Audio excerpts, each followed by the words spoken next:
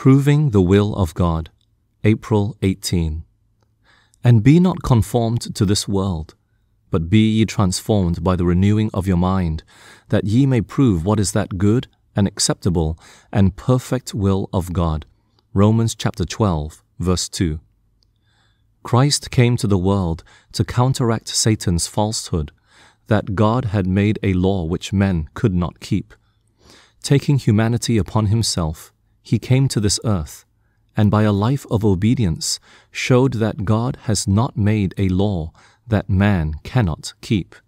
He showed that it is possible for man perfectly to obey the law. Those who accept Christ as their Savior, becoming partakers of His divine nature, are enabled to follow His example, living in obedience to every precept of the law. Through the merits of Christ, man is to show by his obedience that he could be trusted in heaven, that he would not rebel. In all his godlike deeds, the world's Redeemer declares, I can of mine own self do nothing. This commandment have I received of my Father.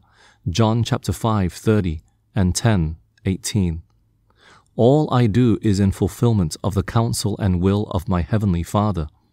The history of the daily earthly life of Jesus is the exact record of the fulfillment of the purposes of God toward man. His life and character were the unfolding or representation of the perfection of the character that man may attain by becoming a partaker of the divine nature and overcoming the world through daily conflicts. The youth need to keep ever before them the course that Christ followed. In the study of his life, we shall learn how much God through him will do for his children, and we shall learn that, however great our trials may be, they cannot exceed what Christ endured. Those who walk even as Christ walked are patient, gentle, kind, meek, and lowly in heart.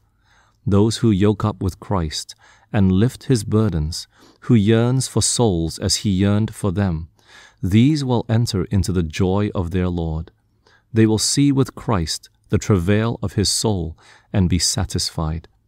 Heaven will triumph, for the vacancies made in heaven by the fall of Satan and his angels will be filled by the redeemed of the Lord.